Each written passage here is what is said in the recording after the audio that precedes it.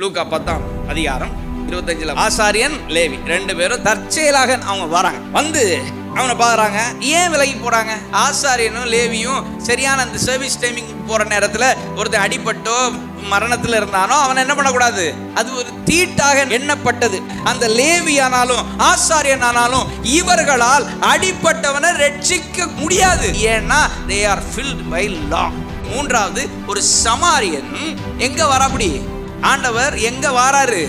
அவர் இருக்கிற பரிசுத்த ராஜ்யத்தை விட்டுட்டு பாவம் நிறைந்த ஒரு ராஜ்யத்திற்குள்ள வாரார். குற்று உயிரா குல உயிரா இருந்த நம்மளை கண்டு மனம் உருகிறாராம் இன்றைக்கு அவருடைய ரத்தத்தினால நம்முடைய காயங்களுக்கு அவர் எண்ணெயை போட்டு சரி பண்ணி விட்டு நம்முடைய வாழ்க்கையை பரிசுத்த ஆவியானவருடைய கரங்களை கொடுத்து இதை கவனிச்சுக்கோங்க அப்படின்னு சொல்லி கொடுத்து போயிருக்கிறாரு. காயங்கள் கட்டப்பட்டு விட்டது எல்லாம் சரியாகி விட்டது. இயேசு கிறிஸ்து வரும் பொழுது நித்திய ஜீவன் என்கின்ற டிரான்ஸ்ஃபர்மேஷன் ஸ்டேஜ்ல நான் அவரை சந்திப்பேன்.